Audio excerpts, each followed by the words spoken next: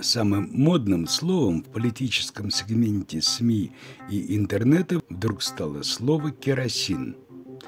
Керосин, которым российский Су-27 обрызгал американский беспилотник МК-9 «Риппер», в результате чего Дрон, по данным российского Минобороны, якобы потерял управление в результате маневрирования и упал в воду.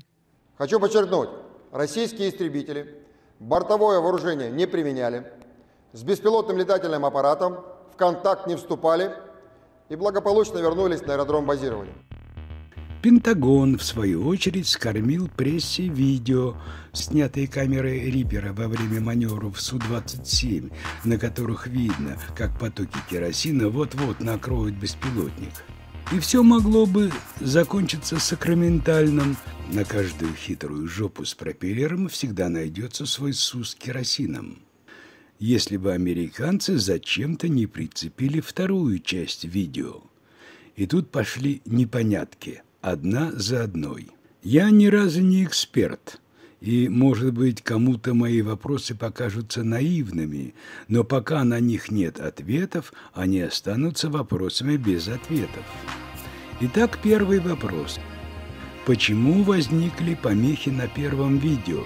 Точнее, почему они возникли так рано?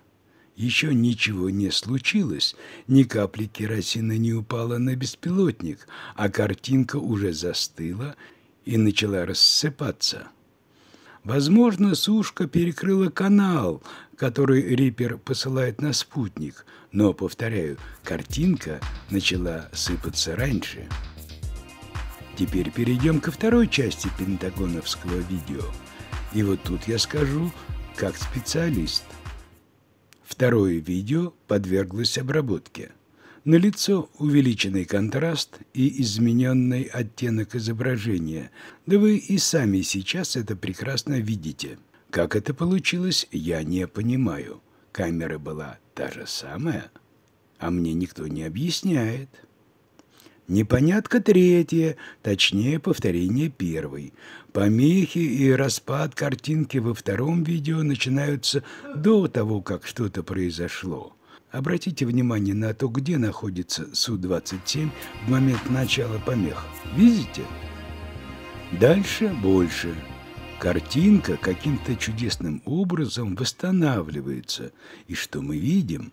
Точнее, чего мы не видим – не видим мы желтых полосок на лопастях пропеллера.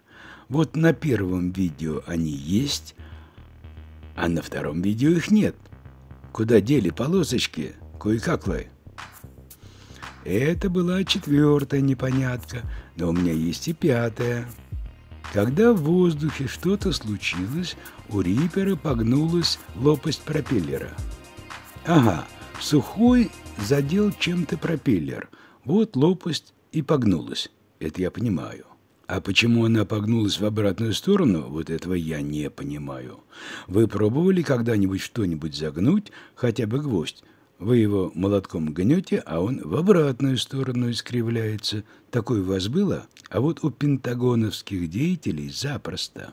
Следом за пятым номером идет номер шестой. В этом на глазах становящемся легендарном видео есть еще одна лопасть. Она как раз напротив загогулины.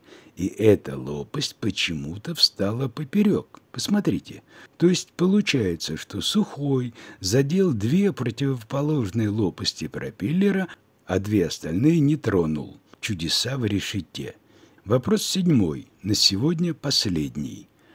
Какова должна быть траектория полета Су, чтобы он мог чем-то, какой-то своей частью задеть пропеллер и не разнести в дребезги хвостовое оперение Риппера?